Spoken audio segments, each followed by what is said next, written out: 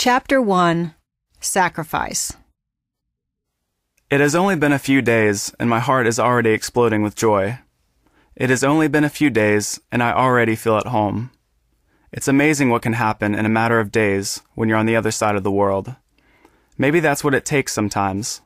From the mansions of politicians to the shacks of humble farmers, I've seen the city and the countryside and everything in between. But everywhere I go, I am told the same thing. You are welcome here. Despite all that has happened since I arrived, the event that stands out to me the most is when I went to the local church Sunday morning to worship. The joyful energy in the room was incredible, and the angelic voices of the children's choir were enough to make me feel like I was worshiping with these wonderful people in the throne room of heaven. I promise, an African church service will ruin you to anything else. When the sermon was over, I was greeted by more people than I could count. The adults showered me with handshakes and hugs. The children greeted me with curious looks, shy smiles, and contagious laughter. Jonathan's blog post written on his third day in Cameroon, West Africa. For nearly a year, Jonathan had agonized over how to save the world. What was his part? What was his purpose? And then within six weeks, every detail fell into place. $8,000 of support were raised in just over a month. 30 guitars were donated so that he could give African orphans the gift of music, teach them what he had been taught in a privileged youth of weekly music lessons.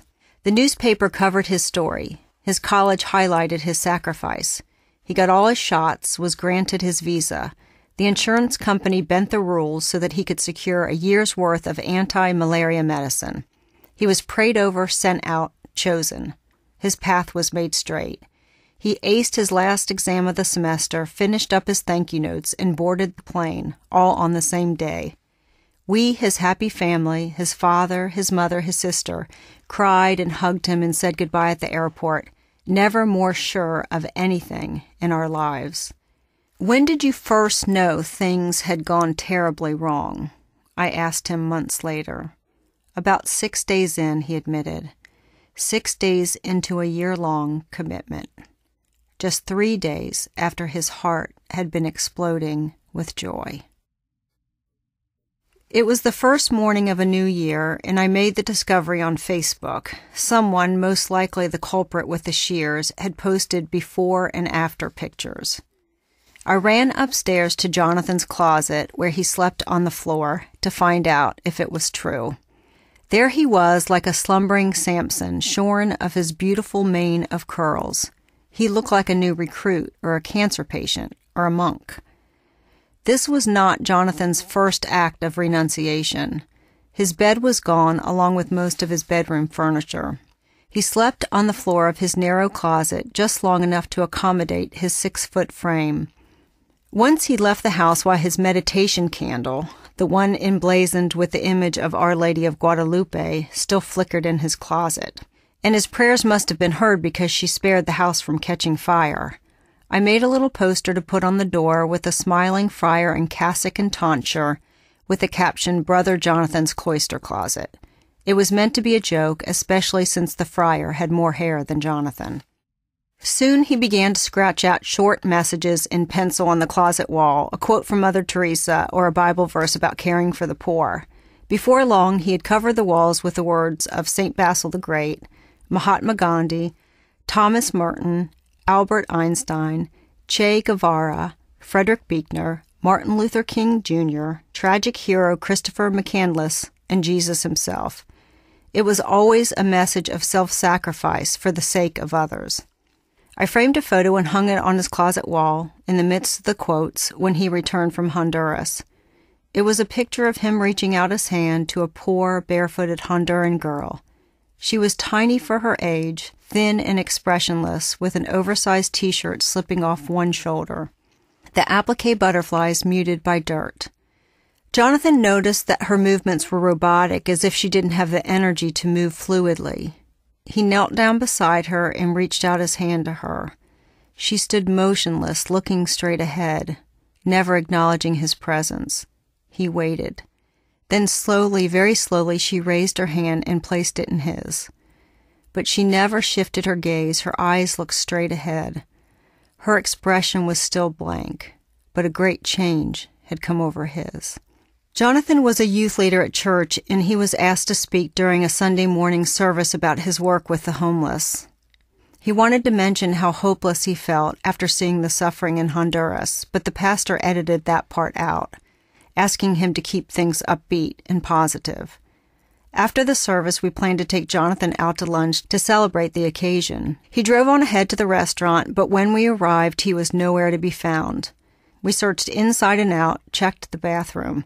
I looked outside a second time and found him behind the building, sitting on the curb near the dumpster. A petite woman sat next to him. Her name was Carmen, and even though the weather was temperate, she was wrapped head to toe in heavy winter clothing.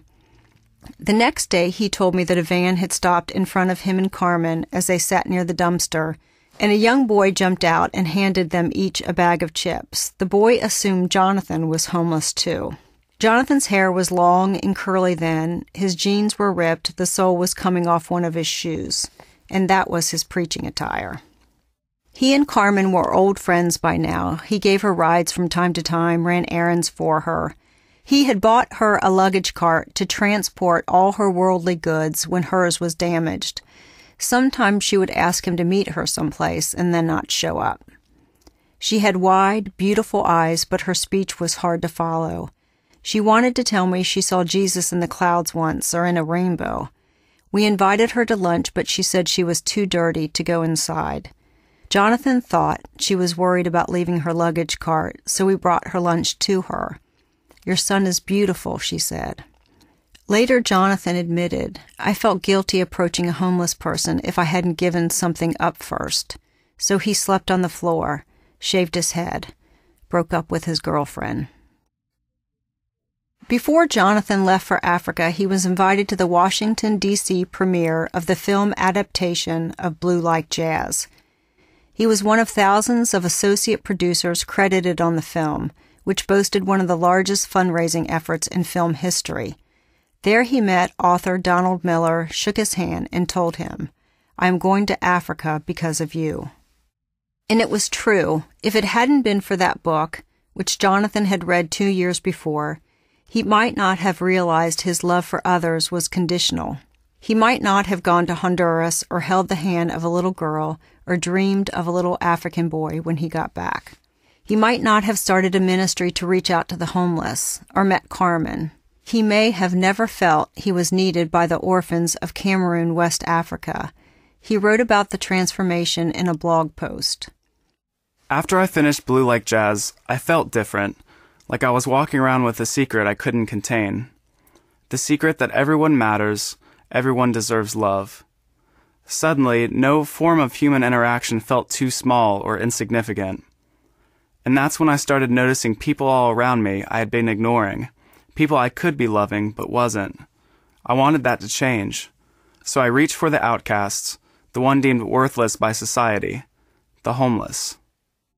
His love for the homeless expanded, extended, and then he was taking in other outcasts, mentoring teenage boys who even the church folk didn't want.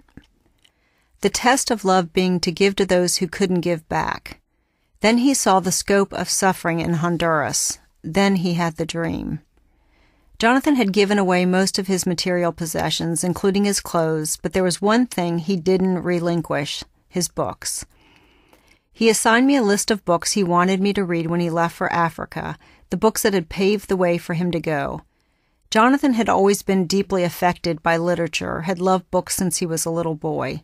He was only five when he packed up his favorite books, including his father's boyhood copy of The Wizard of Oz, in a pale blue suitcase that he sealed with duct tape for good measure. He alerted us that this suitcase was to go with him should Jesus come back. He could part with everything else, but his treasures in heaven had been stored up in the written word with color illustrations. He would fill a suitcase with books when he left for Africa, too. I had read Blue Like Jazz shortly after he did, at his request, but the new books on his list were different, less philosophical, more directive. They were filled with a kind of zeal that might fuel an idealistic college student to leave school, to travel alone to a continent he was unfamiliar with, to join forces with people he didn't really know, to stay longer than he should have. But I only figured that out later after he was already gone, after I began reading the list of books he left behind. When I missed Jonathan, I sometimes visited his cloister closet. His bedding was still there, unwashed, some blankets and a pillow. That's when I noticed new quotes had been added to the wall. They were less encouraging, more accusatory than the others. Each one issued a challenge, each one pointed a finger. No longer a wall to inspire, but more like the markings of a prisoner biding his time, not counting the days to freedom, but further closing him in. If it was Donald Miller who was responsible for getting Jonathan to Africa, it was these other voices who were responsible for keeping him there. Because there was always more to do, more to give, more to sacrifice, no matter the cost. I think people are tired of being told about a Jesus they haven't experienced. If someone has never been shown love or peace or mercy, but I claim that Jesus is all of those things, I've done nothing to help that person understand. Instead of just telling people that Jesus loves them, what if I showed them love first? Instead of just saying that Jesus is peace and mercy, what if I showed them what peace and mercy feel like? If I do that, then at last I can say the next part, the most important part. Friend, the same way I have loved you is how Jesus loves you, and he loves you even more than I can. This is my journey to make the words of Jesus jump off the page. In three weeks, I will be boarding a plane that will take me to Africa for a year to volunteer. I will be teaching orphans and school children how to play the guitar, traveling to remote villages to do medical outreaches, and helping to build a bakery that will not only teach the orphans a trade, but will make the orphanage self sustaining. This wouldn't be possible without the gracious support of friends, family, and fellow followers of Jesus. Thanks for loving the world with me. And so my beautiful son, with a suitcase full of books and a luggage cart transporting all his worldly goods, boarded the plane, poised to love the world.